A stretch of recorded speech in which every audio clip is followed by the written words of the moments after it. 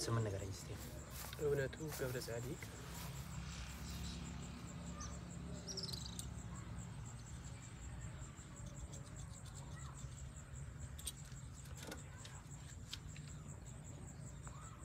እድሜክ ስንት ይሆናል?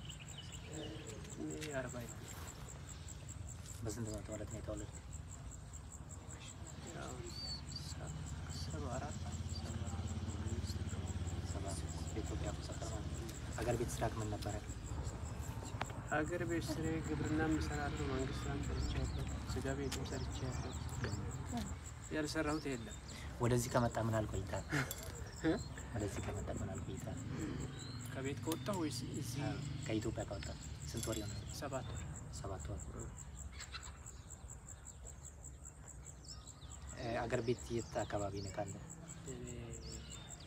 ያው ወልቅጤ ዞናችን ወልቅጤ ነው። ወልቂጤ። እነ ማውርና ኤመር የሚባል ቤተሰብ አለ? አግብታል? ስንት ልጆች አሉ? አንድ ልጅ አለ። ወደዚህ ለመምጣት ምንድን ነው ያገባባክ? ወደዚህ ለመምጣት ያው የኢትዮጵያ ኑሮ ከእጅ ወደ አፍ ነው።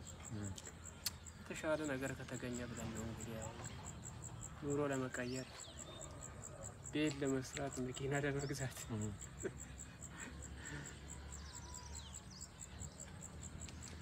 okay ከዛ ስትነሳ ወደዚህ እንድት- እንድትመጣ ያደረገክ ኑሮ መቀየር ነው። ግን ወደዛ ወደ South Africa ለመሄድ ያነሳሳክ ምንድን ነው? አካባቢያችሁ ላይ ምን አለ? እናንተ አካባቢ ለምሳሌ ጉራጌ አካባቢ I think ሰው ወደ South Africa ሲሄድ ብዙ ሰምቼ አላውቅም። እንዴት ነው አንተ የተነሳሳ?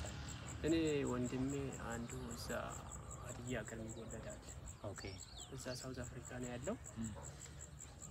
ያው እንደምንም እዛ ደርሶ እሱ የተሻለ ኑሮ ስላለው ብትመጣ ምናምን ሲለኝ ነው። okay ከዛ ስትነሳ የክፍያው ሁኔታ እንዴት ነው? ክፍያ እዛ ተነጋግሮ የጨረሰው እሱ ራሱ ማለት ነው። እሱ ራሱ እዛው ደላላ፣ ክፍያም ደላላም ከዛው ሁሉ ነገር ስንት ነው የተግባቡ የተግባቡት? አላወቅኩም። ምንም አታውቅም? ይህንን መንገድ ድንበር እስከ ድንበር ከመጣህ በኋላ እንዴት ነው የተሻገርክ? ህጋዊ ነው ወይስ በድብቅ? ነገሩ። እኔ ፓስፖርት ይዤ ነበር። ፓስፖርት ይዤ ያለው እያልኩት እየነገርኩት ማለት ነው። ወስዶ የሆነበት አስቀመጠና ፓስፖርት እያሳየሁት እምቢ ብሎ ድንበር አሳልፈኝ። በቃ በእግር ፓስፖርት ፓስፖርት እያለኝ በእግር ማለት ነው። በእግርና በመኪና okay እዚህ አሁን ታንዛኒያ ድንበር ላይ ነው ያላችሁት። already I think ታንዛኒያ ከዚህ አስር ደቂቃ ነው በእግር እንኳን ብትሄድ ማለት ነው። እስከዚህ ድረስ እንዴት ነው የደረሳችሁት? እስከዚህ ድረስማ አንዳንዴ በእግር አንዳንዴ በቤት መኪና ከኋላ ወንበር ላይ እኮ አይደለም ከኋላ ሰባት ሰው ስምንት ሰው ታፍነን ከኋላ እየተጫንን ግማሽ ሰው ይሄ በነዳጅ ቱቦ የሚመጣ ቦቲ እየተቸገርን ነው እዚህ መንገድ ላይ የሚበላ ምን ነበር ያለው? ምግብ ነበር መንገድ ላይ? መንገድ ላይ ያለው ያው እዛ ሴሎ በረሃ ምናምን ላይ ጫካ ውስጥ ሶማሌዎቹ ሩዝ ይሰራሉ። ከዛ ወዲህ ደግሞ dorm ላይ ናይሮቢ ምናምን ላይ ያው እንደ ቤቱ ነው። ምግብ የማታገኝበት ቤት አለ፣ ምግብ ምንም የማይሆንበት ቤት አለ፣ ጥሩ ቤት አለ። በቃ እንደ ቤቱ ነው። አንዳንድ ቤት በጣም ትራባል። አንተ የነበርክበት ቤት እንዴት ነበረ? በጣም ራብ ነበር። ሌሎቹ ሲያወሩ ደግሞ ጥሩ እየበሉ እንደመጡ ነው።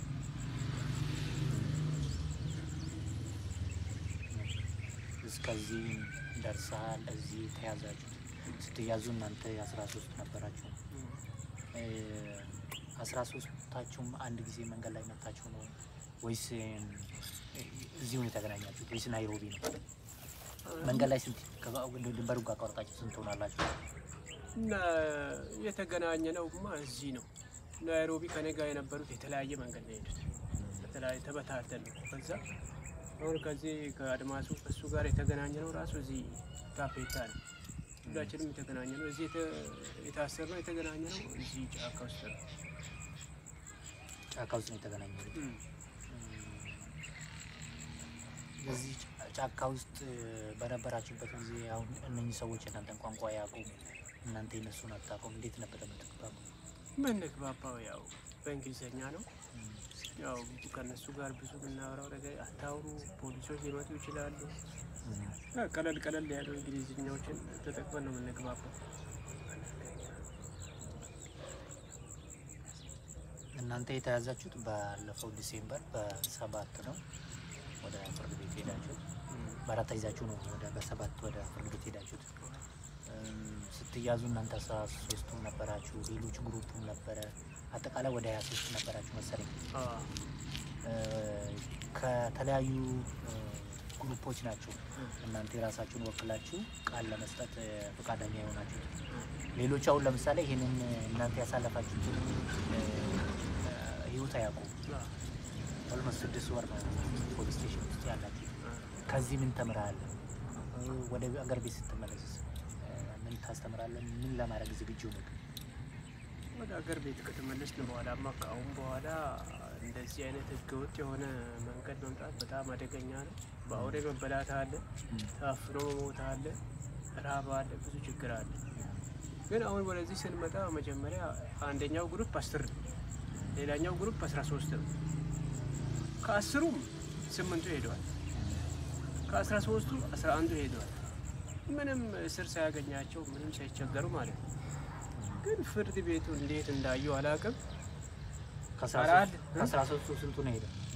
ከአስራ ሶስቱ አስራ አንዱ ሄዷል።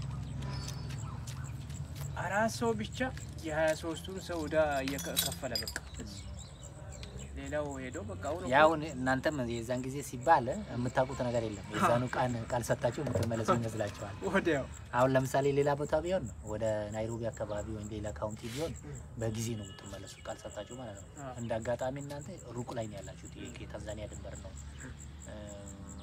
እናንተ ከእናንተ ጋር የተከሰሱ ሰዎች ደግሞ እናንተ ቃል እንድትሰጡ አይፈልጉም። እናንተም ታውቃላችሁ። አይ ሁለቱ ልጆች ከእናንተ በፊት የነበሩትም ቆይቶ ነው የሄዱት።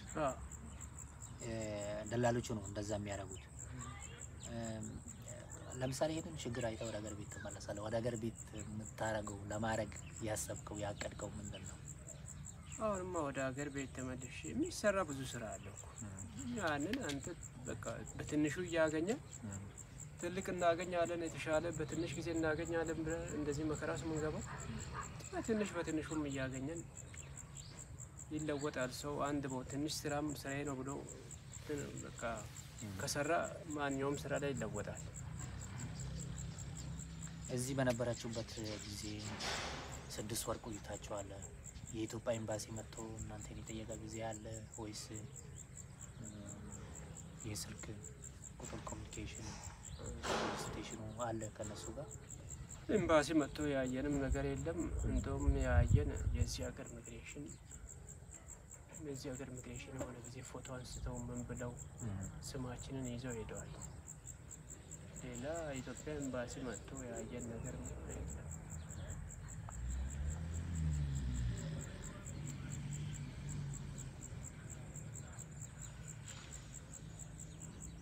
እዚህ ከመጣ ከቤተሰብ ጋር ከ communication አድርጋል። ስ- ስድስት ወር ነው already እዚህ ያለው። አዎ። ከቤተሰብ እንደታሰርክ ያውቃሉ ማለት ነው።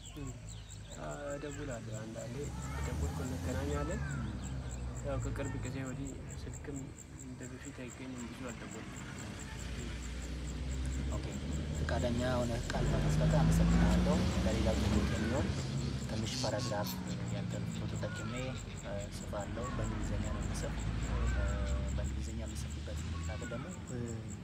ይህንን መንገድ ከኬንያ ጀምሮ እስከ South Africa ያለው ሰው የሚያውቀው ቋንቋ እንግሊዝኛ ወይም ኪስዋሂሊ ነው ወይም French የምንለው ቋንቋ ነው። ሰው at least ተጎጂነት ምን እንደሆነ የሚያሳይ ነገር ለመጻፍ ነው። ስለዚህ እግዚአብሔር እንዳችሁ ሁለታችሁ ዛሬ ትእዛዝ አግኝቷቸዋል። ወደ ሀገር ቤት ትገባላችሁ። በቅርብ ጊዜም ከገባችሁ ትድናላችሁ ነው። ኢሚግሬሽኑ ደግሞ ገንዘብ የለንም ብሎ ከቆያችሁ ተረጋግታችሁ ጤንነታችሁን ጠብቃችሁ ወደ ሀገራችሁ እንድትመለሱ ነው የምመክራችሁ። እሺ። thank you አመሰግናለሁ።